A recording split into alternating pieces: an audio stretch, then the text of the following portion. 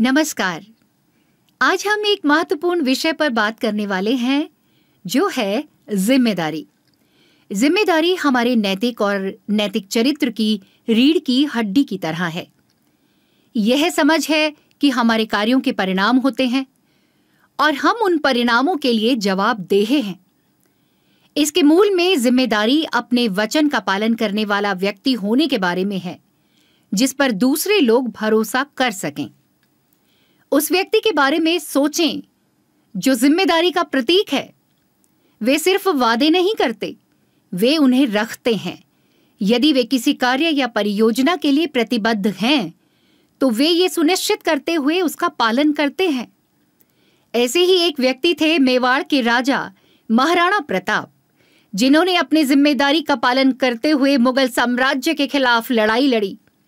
महाराणा प्रताप ने आखिरी सांस तक अपने साम्राज्य की रक्षा की ज़िम्मेदारी का निर्वाह किया और भारतीय इतिहास में महत्वपूर्ण स्थान प्राप्त किया। ज़िम्मेदारी महज दायित्वों से आगे तक फैली हुई है। यह नैतिकता और सदाचार के दायरे में उतरता है। यह ऐसे विकल्प चुनने के बारे में है जो कठिन निर्णयों का सामना करने पर भी किसी के मूल्यों और सिद्धांतों के अनुरूप हो। एक जिम्मेदार व्यक्ति अपने नैतिक मूल्यों से समझौता नहीं करता। वे जो सही है, उसे करने में दृढ़ रहते हैं, न कि केवल वही करने में जो आसान या सुविधाजनक है। व्यापक सामाजिक संदर्भ में ज़िम्मेदारी एक सांप्रदायिक पहलू लेती है। इसका अर्थ है, एक बड़े समुदाय के सदस्यों के रूप में अपनी भूमिकाओं को पहचानना और दूसरों पर हमारे कार्यों के प्रभाव को स्वीकार करना। सामाजिक ज़िम्मेदारी में, समाज की भलाई में सक्रिय रूप से योगदान देना शामिल है। चाहे वह स्वयंसेवी कार्य, टिकाऊ प्रथाओं या नैतिक व्यावसायिक निर्णयों के माध्यम से हो। यह मान्यता है कि हमारे कार्यों से समाज पर प्रभाव पड़ता है, जिसका असर न केवल हम पर, बल्कि दूसरों पर भी पड़ता है। उत्तरदायित्व भी जवाबदेही के विचार से जुड़ा होता है।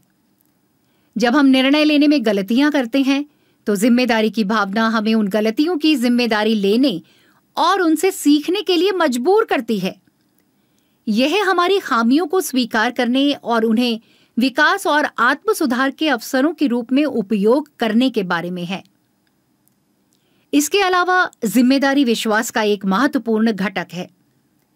विश्वास मज़बूत रिश्तों की नींव है, चाहे व्यक्तिगत जीवन हो या व्यावसायिक जीवन। जिम्मेदार व्यक्ति विश्वसनीय और सुसंगत होते हैं, और यह विश्वसनीयता समय के साथ विश्वास पैदा करती है। लोग उन लोगों पर भरोसा करने और सहयोग करने की अधिक संभावना रखते हैं, जो उच्च स्तर की ज़िम्मेदारी प्रदर्शित करते हैं। संक्षेप में, ज़िम्मेदारी वह नैतिक दिशा निर्देश है, जो हमारे कार्यों और निर्णयों का मार्गदर्शन करती है।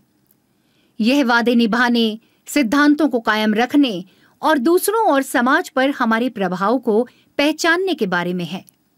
अंततः, यह हमारे चरित्र और अखंडता का प्रतिबिंब है, जो दुनिया के साथ हमारे जुड़ने के तरीके और दूसरों द्वारा हम पर रखे गए भरोसे को आकार देता है।